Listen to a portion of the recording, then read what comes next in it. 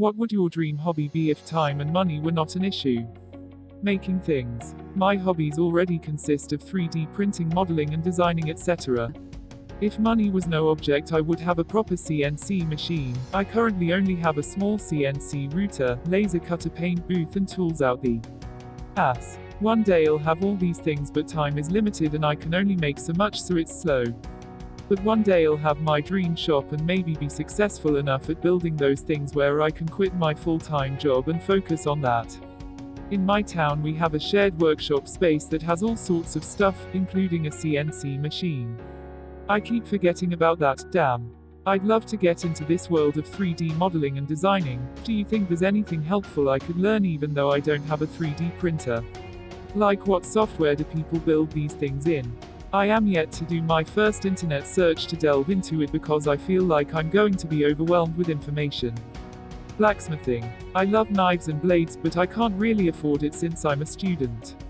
You can get pretty far without spending too much. Building a forge is pretty simple. A few hammers and a hunk of steel, I used a piece of trail rail, and you got a decent start. The most expensive thing I got was the belt sander. Collecting and playing as many instruments as I can. I really love music. Check your local pawn shop, YMMV in terms of the quality of instrument, but I bought a bass like 15 years ago from a pawn shop for $20 and that thing still bangs. It's been one of the best purchases I ever made. Just gotta be thorough when you try them out. I love carpentry. I watch dozens of YouTube videos on woodwork. I freaking love it and the creativity is endless. I wish I had a huge garage and a set of tools to work with. Me too. I love to restore and repair. An ever expanding animal sanctuary. I would pay to visit an ever expanding animal sanctuary. Growing plants. Any plants. Medicinal, food, or just flowers to look good. Giant greenhouses on acres of land dedicated to growing many, many plants, all day, every day. You should grow a lot of medicinal plants. Like poppies. Painting on large canvases with oil paints. Both the canvas and paint are expensive and it's incredibly time consuming to do anything with oil paints. If I could afford it, I'd do many more paintings. Edit. Holy smokes, guys. Thanks so much for all the advice on how to get back into this. You could also look into buying a roll of canvas and learn to make, stretch your own. The tools required are inexpensive. I take in dogs that often get passed over at shelters and restore antique clothing, furniture, and other things. End goal I live in a big old restored house with an army of dogs, and the local children believe I am a witch. Having a garage and learning to fix old cars. That's what I do too. I love cars from the 60s minus Ninities. The main limiting factor of D&D is the time to get people together to play, so I'd finally get the opportunity to run the 8 or 9 campaigns I have stored away.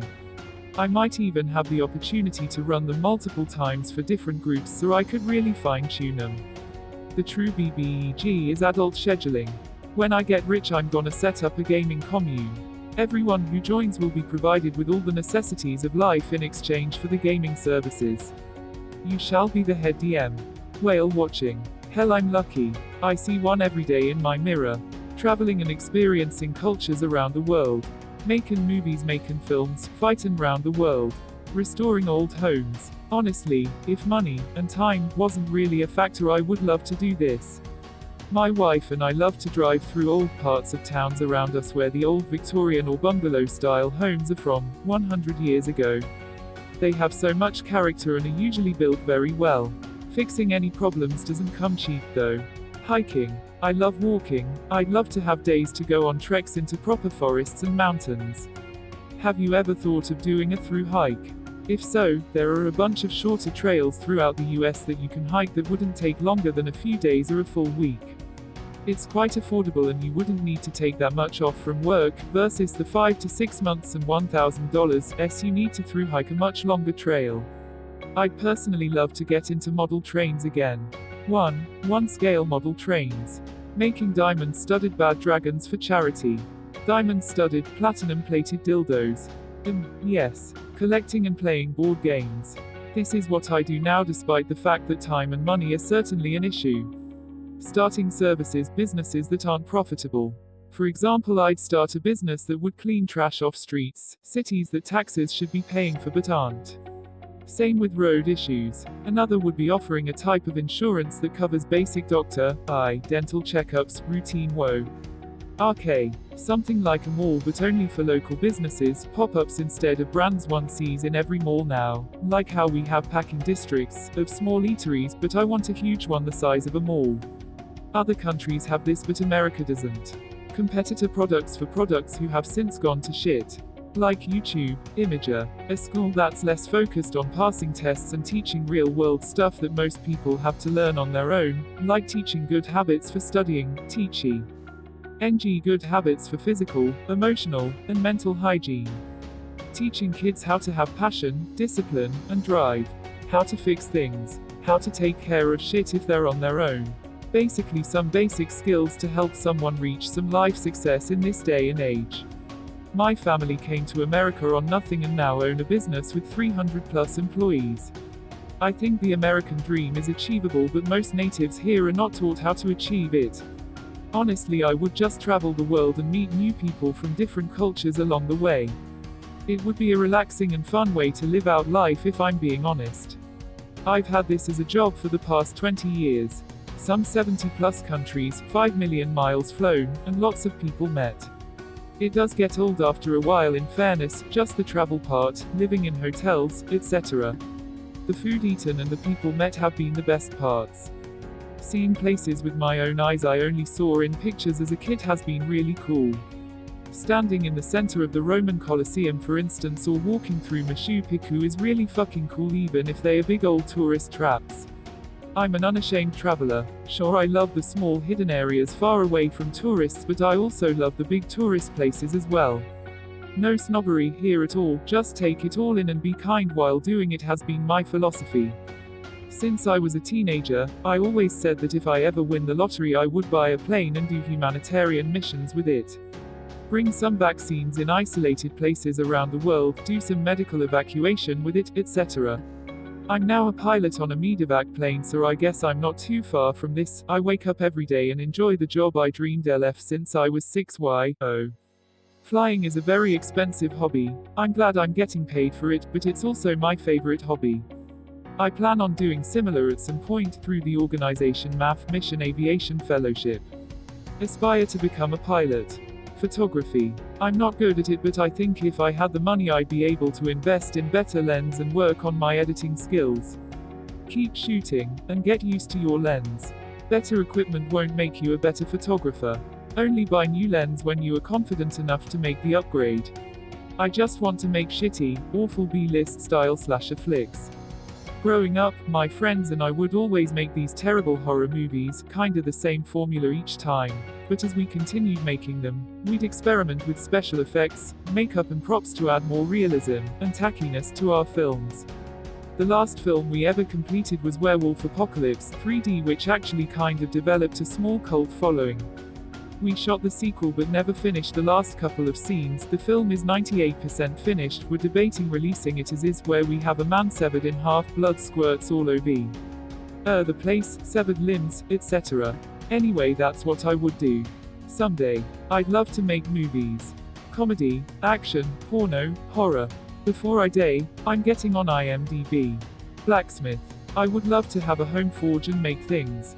Not just weapons, but also industrial art and pieces for other artists to improve upon. Dude, same here. It's not even that expensive to get into, it's just I'd feel like a dick if I was smacking metal around my neighbors all day since it's hella loud so I don't want to do it at home until I get a place out in the middle of nowhere. Travel the world looking at some dope AF animals in their natural habitats, specifically chimpanzees, dolphins, whales and wolves. After that I'd set up a non-profit conservation center. This is my dream. It's give it all up to do this. Astronomy. I would go to university and article as many courses as possible. I'm not sure if article is the correct term. I would take courses but not write any exams as I would not be interested in receiving a degree. I would definitely do lab work though. That's where the real magic happens. Edit. It's called auditing courses. Thanks for this. Audit. Probably get good at snow skiing and be able to fly all over the world to ski in awesome places, maybe with those convenient helicopter rides to the top to S. Key amazing untouched powder. I probably only average like one day a year at this point. I live very far from anywhere that has good skiing, but it's such a good time. A huge bucket list item that's so hard to get checked off is to spend a winter skiing like every weekend. But having the free time and money before I'm likely to break a hip doing that, if then, is unlikely. Warhammer, I have a Sisters of Battle army and I really want to get to 2k points but with the metal figures since that's most of what I have already. I was going to write this too. So expensive but so fun. I'd love to pursue music more than I have so far. It takes time, which is directly linked to money, sadly. There were times when I spent 8 hours a day in some rehearsal space, by now, work has taken over and most of my private life is act 2. Ally more important than messing about on a guitar, so I get around to play once a month at best. If I could get a job that paid well enough to, by that time, I would go back and make music as often as I could. I went to school for music and I have the same problem. I would kill to be back in a rehearsal hall 8 hours a day. Treasure hunter, adventurer. I really can't think of anything that would be better. This reminded me I used to go geocaching with my friends when I was younger and it was really cool. We found plenty of little treasures and made great memories along the way. You should look into it. Learning languages and getting paid for it. Sounds more like a job than a hobby. I would go through hiking. I would still try to do it as cheaply as humanly possible. I would start with the Bruce Trail, then the IT, and then the PCT before moving on to others. I'm debating taking the summer off and going hiking. Just a few weeks of me, the tree, and the rocks. And the IT is my main goal. I'd get a large property and build a series of epic huge aquariums replicating all sorts of different freshwater and marine environments around the world. Then I'd travel the globe fishing everywhere and keeping the fish to stock my aquariums, you know within reason I'm talking fish that can survive happily in captivity. Not a marlin or whale shark or anything. Basically to personally collect all of the world's fish, or most of them, and keep them as pets. Sigh, you had me at huge aquariums. I've got four running currently that are 100 to 150 gallons, but I would love to have a truly massive tank someday, a 1000 plus gallon freshwater planted biotope. I would stock it with schools of very small freshwater fish. I'd convert an older multi story building into a bookstore and hang out there all day talking about books with people and reading. Being an artist and having a decent sized vegetable garden. Good art supplies are expensive as anything and it requires time to learn. For a vegetable garden I either need a home with decent space or access to a large allotment, and the time to maintain it. Writing, writing, writing. I love writing. And I might get out in the world and experience fun stuff along the way, cause that gives you more to write about. I'd love to make a television show with puppets, similar to Sesame Street, but for children having to cope with trauma, loss, hard transitions, ECT. There aren't a lot of mental health services that can get to children, and it would be lovely to be able to bring something helpful to the ones who can't help themselves. Right with you on this one. Something like this should exist. Having a studio to paint, craft, draw, sculpt, knit, sew, write, and build. It'd be the happiest. That's what I'd want too. A place to do a little bit of everything. I have big dreams of what I'd do if I won the lottery, but my realistic dreams for when I retire include sewing classes and getting a re. Ally great table saw. Probably shooting. I would love to get into competition shooting, but ammo is expensive and I don't have the time needed to really hone the necessary skills. On top of that, the ranges around me kinda suck this. I'd love to try three gun shooting, but I'm doing good to put 50 rounds through my pistol every week, and that's at an indoor range that doesn't allow drawing the gun, rapid fire, or basically anything else. If I ever have serious land to build on, my wife is going to have a huge garden and I'm going to have a private range. I have a dream retirement plan, I want to have a cat sanctuary by the sea. I primarily want to focus on older cats who have special medical needs or with owners who've passed a way, older cats are often less likely adopted. I already TNR and help care for a stray colony so it isn't very far off of my current life. I have a friend who grew up on a small dairy farm. Every birthing season, his parents would send the male calves away. I came up with an expansion of my dream. I'd run a cat and bull sanctuary. I figured I could sell manure and bull sperm and help pay for the costs and I could save all those male calves. I finally asked why they kept getting rid of the males, turns out bulls don't really provide much a dairy farm any. Eds, if you know what I mean. Not just that, but you don't get a bunch of bulls together and have a nice and chill tea time. You don't keep bulls together, you get one. And that's what happened to my dream of the no bullshit cat and bull sanctuary. If money weren't an object, I could have enough land and facilities for all bull and kitties. You actually can keep bulls together, however they have to be a boys only club. Any females in the same pen or sometimes within a certain radius will set them off into dominance fights. Source, my buddy is a cattle rancher. His bull pen has about 25 males ATM for breeding with his 800-ish head herd of females.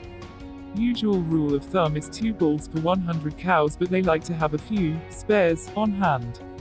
Currently in Cabo on a trip that I got my scuba cert for. Definitely traveling and diving in different places around the world. Do it soon be, see the tropical reefs are on their way out of existence. I used to drive, recreationally, at least once a month in the FL Keys, despite the cost and time to G. A down there. I even got my master diver cert. But in the last 10 plus years, the reefs have been utterly obliterated into a dust of what they once were so that now the resource expenditures are not justified, especially since I am usually dispirited and depressed whenever I dive now, have not done so. In the last 5 years. Unsurprisingly, I currently have no plans to ever go diving again.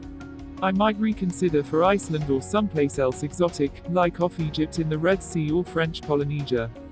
Video games. It sounds lame compared to other things in this thread, but I would love to find more time for them.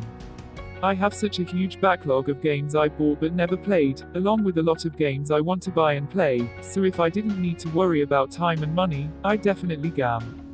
E. I was thinking similar but making video games. If money was truly no object, then I could hire out an office, a team of developers, and artists, and sound people. And just come up with crazy ideas, sit around writing scripts and stories then turning them into playable worlds. Again if money was infinite I wouldn't care about making a profit, I'd just do it to try and make the best games possible.